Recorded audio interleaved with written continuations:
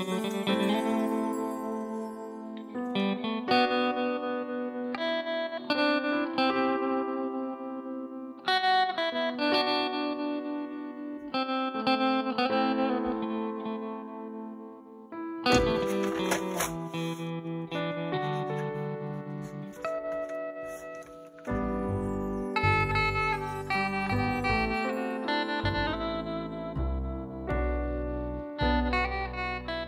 This is me, age 6 when I got my first drawing board for Christmas.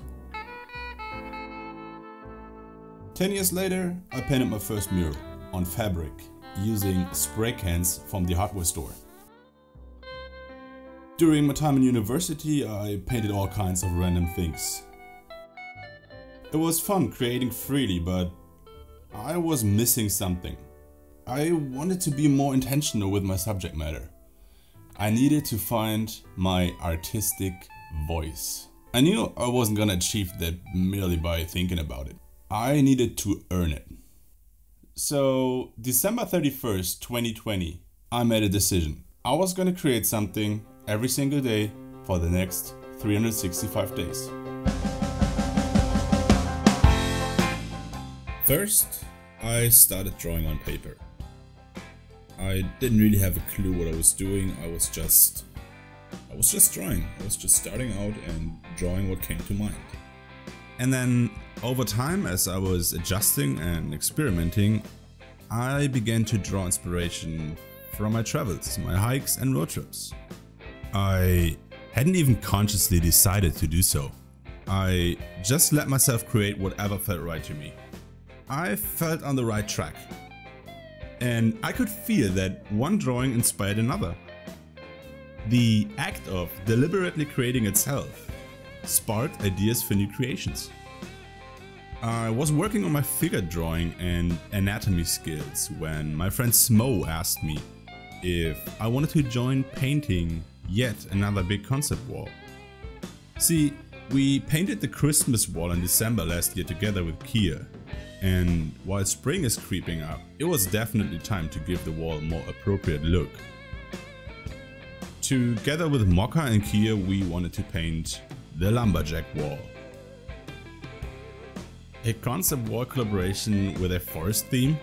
Heck yeah, sign me up!